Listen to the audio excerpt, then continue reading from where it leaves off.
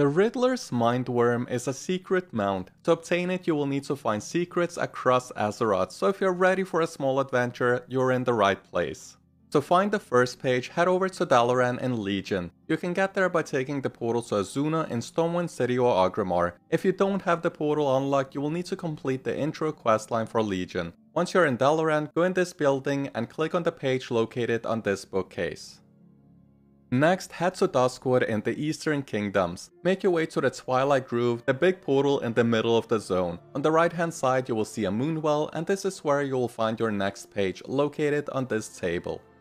The next place you want to visit is the Firelands raid in Mount Hyjal, which can be found here. Inside the raid you need to defeat all the bosses and if you don't know how to spawn Shannox, you just need to defeat enough mobs inside of the raid before the boss eventually spawns and walks around. Once you have defeated all the bosses, make your way here and click on the orb to spawn the bridge. Defeat the boss and walk inside the big building where Rag is located. You'll be able to find the book next to the boss on the left side of the platform.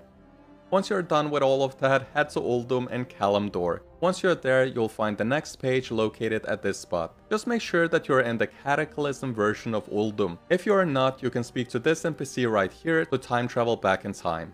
Next, make your way to the Vale of Eternal Blossoms in Pandaria. Once you're there, go inside of the Siege of Orgrimmar raid instance. Just make sure that you are in the old version of the zone, otherwise you won't be able to enter the raid. If you're not, you can simply talk to this NPC right here.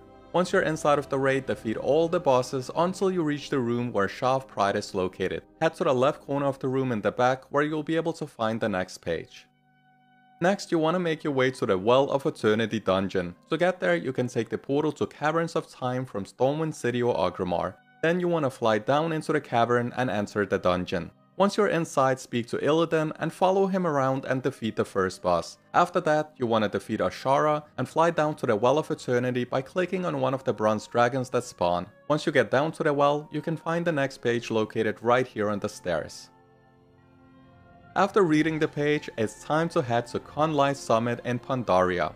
You'll be able to find the next page on the left side of the statue just in between its feet, and the statue can be found right here.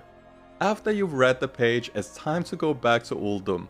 You want to go to this location where you'll be able to see a big pyramid and four statues. You want to go to the second statue from the left side and there you'll be able to find the page at the bottom just in front of its foot.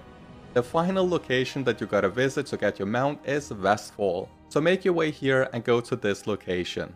Once you arrive, you will see a small ship wreckage, and just in front of it, you'll be able to see a container called Gift of the Mindseekers. Once you loot it, you will get your new mount. And there you have it, that's how you can get the Riddler's Mindworm. Enjoy!